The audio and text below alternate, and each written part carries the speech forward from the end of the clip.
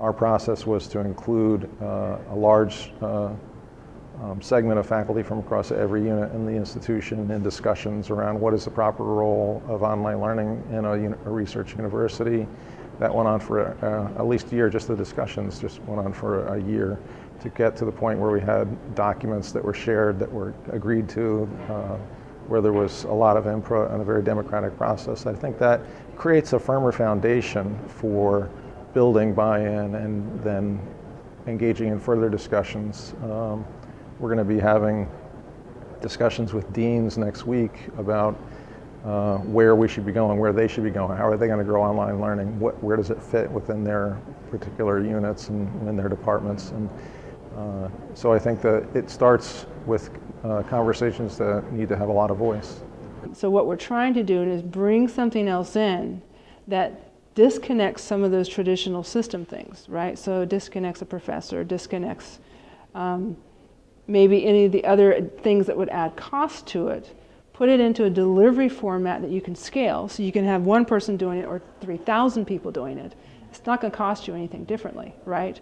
And then charge only what it is going to take to do that. Okay, not the full scale, like, you know, here's the professor cost and here's all this other stuff. So literally what you can do with it is you can take it down to this very low level.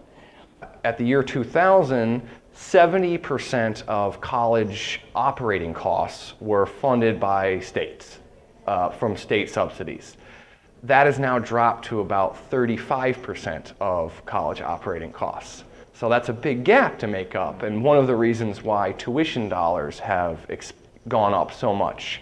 But then that's led to higher student debt, and it's coupled with you know credit card debt and other economic issues that uh, maybe are occurring here in this country.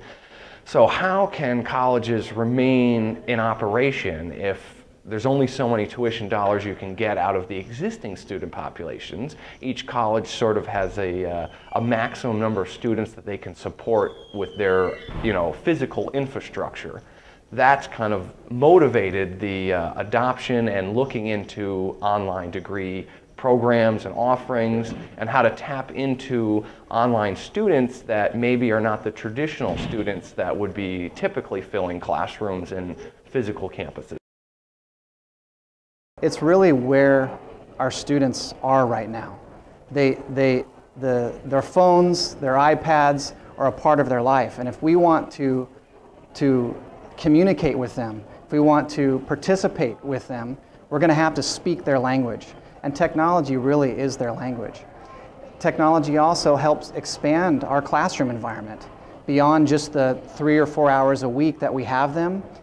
Outside of that, we can include things like a discussion board, uh, videos, um, where you, that's when you start getting into a, a flipped classroom.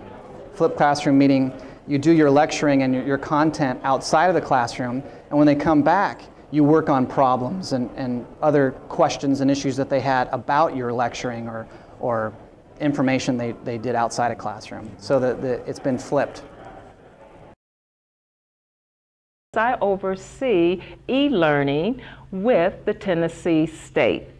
And what I have in my hands are two tools that your campus will have if you're going to use e-learning. I have my laptop, and right now that's the number one device in terms of using a tool for online teaching and learning. However, guess what?